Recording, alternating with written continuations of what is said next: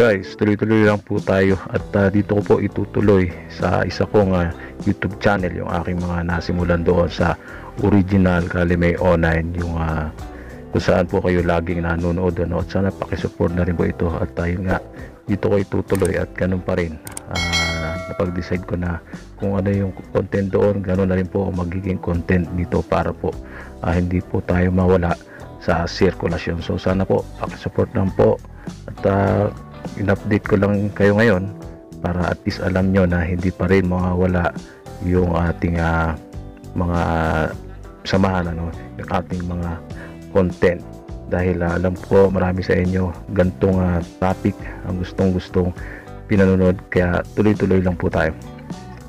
Kaya pinahalam ko sa inyo guys na ang Kalime O9 Hunters guys. Kalime O9 channel buhay pa rin po pero ngayon kailangan ko pong magsimula uli sa unang baitang. Napakahirap po nito guys pero kailangan. Kailangan po nating uh, ituloy. Wala na po tayong magagawa. Right. Unang barya kay Carlo Yamo. Ito po bakit uh, pakicontent na lang po. Tapos uh, magnet din siya.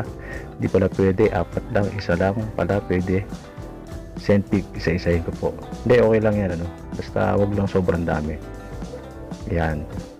Uh, parang itong coin niya eh kung naalala niyo content natin no karaan yung yung silver na 10 piso no?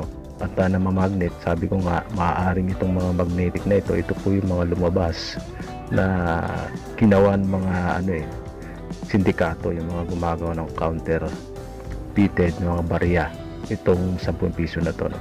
ayan tapos yung sumunod kay Rhea is para sa sir. Yan po yung uh, pinapa ayun, uh, pinapasend nyo sa akin. So salamat no? At uh, naipakita mo na. So itong coins mo uh, sa tingin ko ano eh tabang sa akin na itong coin mo ay error siya. Hindi ko naman din masabi nga na damage kasi kung damage siya dapat uh, yung rim niya eh kung nagasgas siya dapat pudpud yun ano? So para sa akin digit itong one mo uh, NGC 1 piso mo. Ayan. Pwedeng pwede no? At uh, pwedeng pwedeng idagdag sa ating mga sa collection mo no? At pwedeng pwede rin yan sa eBay yung mga ganyang klase ng error no?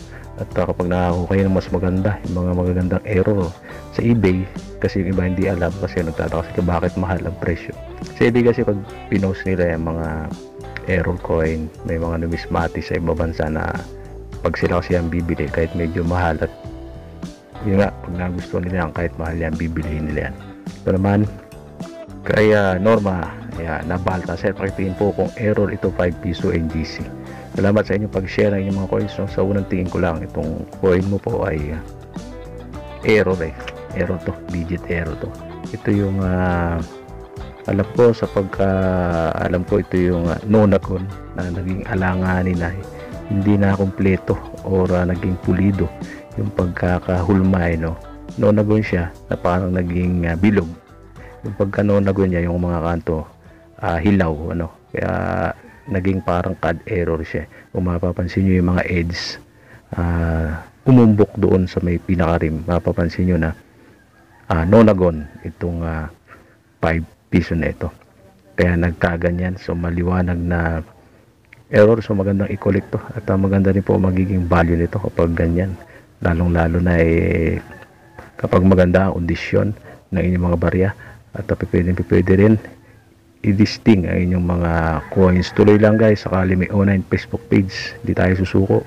Grabe. At uh, mga panginayan lang at yung uh, original kali may online na uh, aking channel. At uh, doon din kayo sanay eh, no?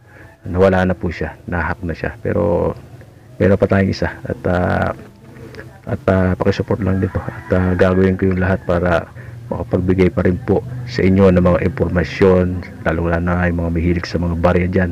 Sa inyong lahat no? At yung mga dati nang nag-subscribe doon umalis na po kayo doon no?